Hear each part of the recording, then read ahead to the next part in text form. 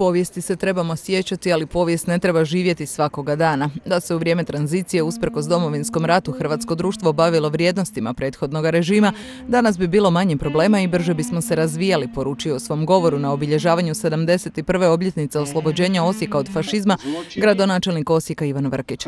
Smatra da smo svi taoci političkog ideologiziranja koje hrvatski narod dijeli na dvije struje, umjesto da se svi skupa okrenu ka gospodarskim problemima. Poručio je i kako antifašisti moraju smoći snage i priznati kako je bilo i komunističkih zločina, no da je jedno sigurno, da će u Osijeku uvijek biti ljudi koji će na današnji dan doći i položiti vijenac na mjesto kosturnice u kojoj se nalaze nevine žrtve fašista.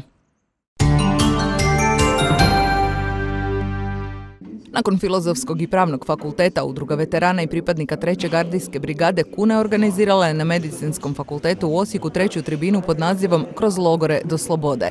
Kroz srpske logore tijekom domovinskog rata prošlo je gotovo 18 tisuća zarobljenih hrvatskih branitelja i civila.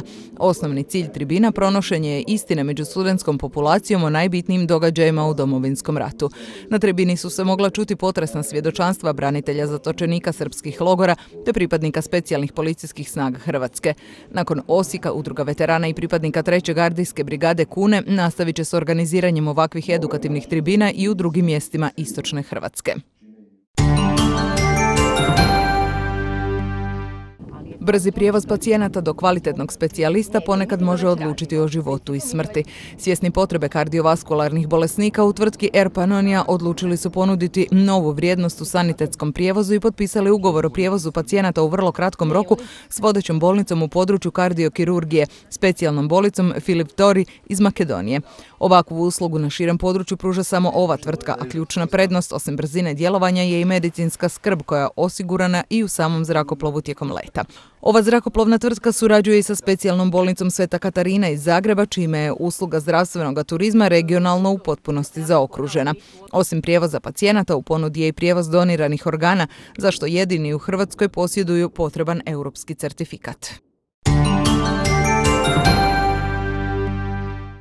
Točno tri mjeseca dijeli nas od 17. izdanja Panonian Challenge festivala ekstremnih sportova koji je postao brend grada Osijeka i prerastao u najveću manifestaciju na ovim prostorima. Ovo će izdanje po mnogo čemu biti najveće do sada. Trajeće čak osam dana, BMX natjecanje bit će jedna od pet postaja svjetskog kupa uz bok Montpellieru, Denveru, Edmontonu i Chengdu, a skate park bit će u potpunosti preuređen. Osim na nacionalnoj televiziji, Panonijan će se prenositi u čak 20 zemalja na šest kontinenata, a organizatori očekuju kako će festival od 15. do 23. srpnja okupiti približno 500 sportaša, 100 glazbenika, 150 volontera i 25 tisuća posjetitelja. Panonijan je napokon prepoznati od strane Hrvatske turističke zajednice koja će manifestaciju poduprijeti s milijun kuna.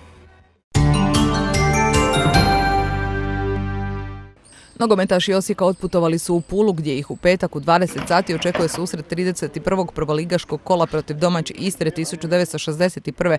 izravno konkurenta u borbi za ostanak u elitnom razredu. Bjeloplave iz gradskog vrta ispratio osobno gradonačelnik Ivan Vrkić koji ih je upoznao s uspješno nastavljenim procesom privatizacije kluba.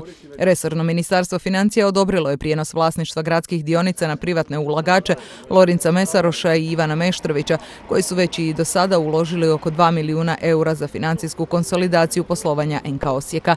Osijek je šest kola prije kraja prvenstva na osmom mjestu s 28 bodova, šest više od devetoplasiranih puljana kojima je sutrašnji susret posljednja prilika za hvatanje bodovnog priključka, a Osječanima za definitivni izlazak iz opasne zone.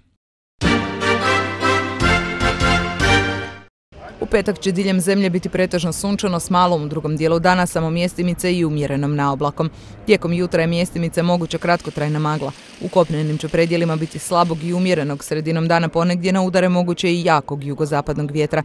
Jutro će u kopnenoj Hrvatskoj biti razbirno svježe s temperaturama između 4 i 9 Celzijevih stupnjeva, dok se u najtoplijem dijelu dana očekuje uglavnom između 17 i 22 Celzijeva.